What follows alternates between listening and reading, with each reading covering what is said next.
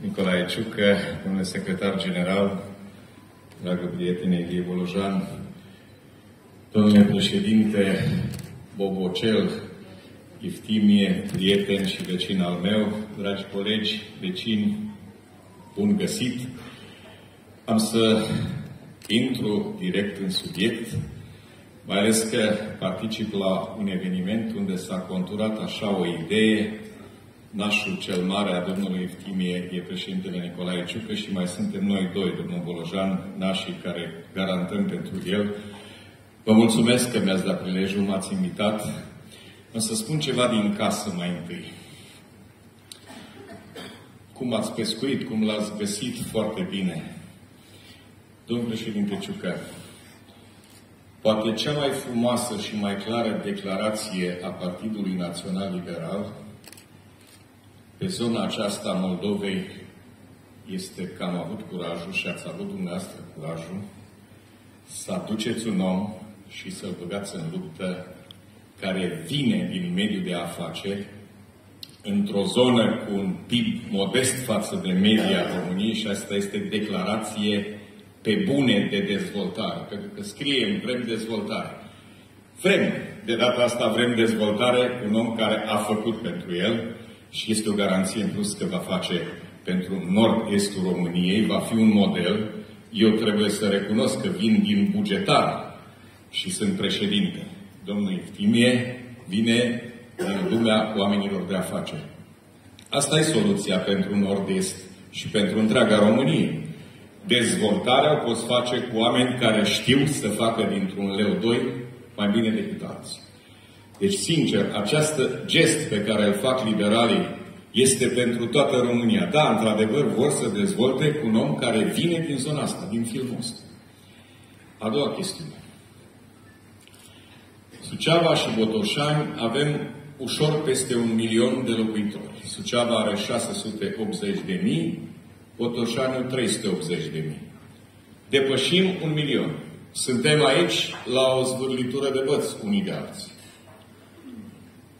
Eu am trei mandate de președinte. Nu mi-a fost ușor nici mie. A fost această luptă cu inerția, cu această tendință de asistat mai mult decât cea de inițiativă. Însă, după trei mandate pot să spun că lucrez mai ușor, pentru că oamenii au început să vadă niște rezultate. La început eram în faza, voi face. E, acum unde te duci, pui mâna pe ceva care ai făcut tu sau primarii tăi.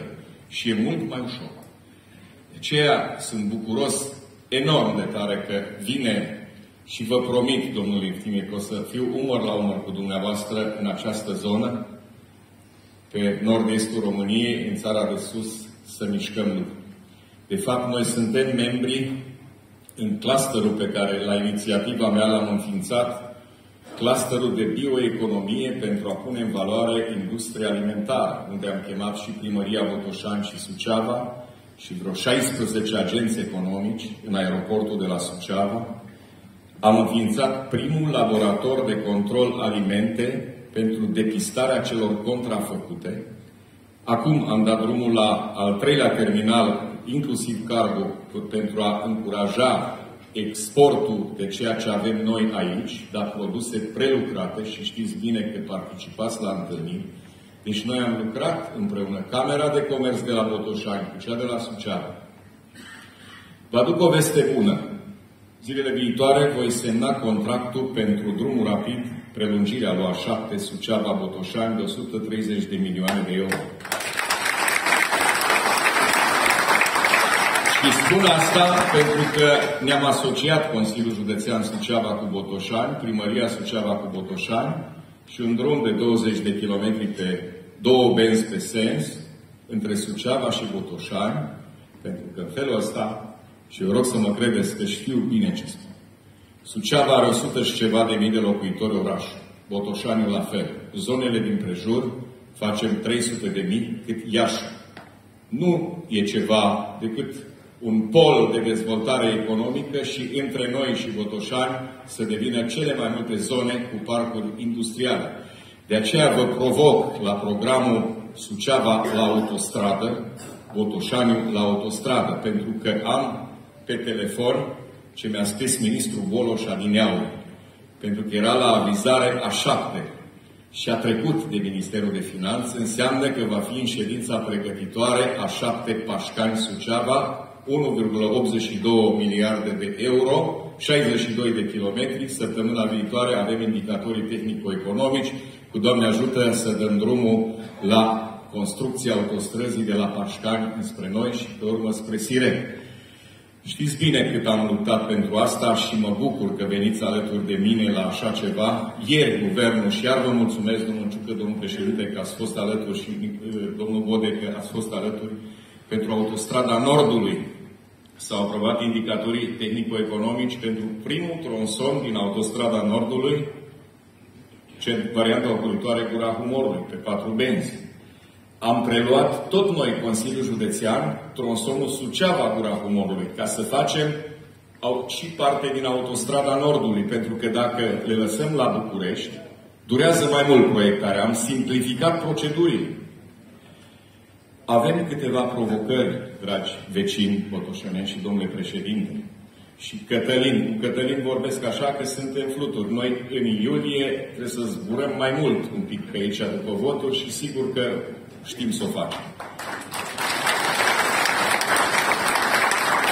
O provocare este valoarea adăugată la produsele agricole. Sunt perfect de acord. Aveți Dolicom aici, cel mai mare avator din România. Cu dumneavoastră am pornit asocierea când am spus eu am 300 de mii de hectare de pășuni în Suceava și avem 300 de mii de oi șepteu. O oaie pe hectar. Știți cât poate? 10. Asta ne arată potențialul uriaș nevalorificat la noi și ce ați spus dumneavoastră ce aveți aici în Botoșani. De aceea, numai în domeniul ăsta, dacă e de vorbit, câtă treabă avem. Doi, dragii mei, reconstrucția Ucrainei se va face și prin România și prin Polonia. Trebuie să anticipăm și să ne pregătim pentru asta. Și românii noștri, sigur, cel mai bine să lucreze în țară să le facă, dar vor putea lucra și aici aproape la câteva sute de kilometri când se termină războiul la reconstrucția Ucrainei pe bani foarte mult și va trebui să ne pregătim pentru asta. Infrastructură, logistică, eu pe 19 aprilie sunt la Cernăuț, doi comisari europeni vin să discutăm infrastructura Ucrainei de la Lvov la Cernăuț. Asta înseamnă că autostrada 7 care merge la Siret se va lega cu Lvovul, cu Varșovia și cu, Marea, cu, cu Baltica. Intră, intră în, în, în inițiativa celor trei Bravo!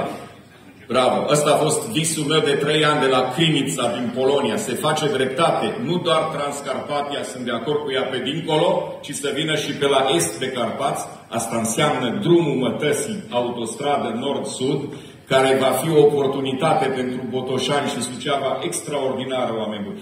Pentru astea, dragii mei, trebuie să ne, să ne pregătim. Pentru asta primarii trebuie să intre în echipa liberală, pentru că avem soluții pragmatice.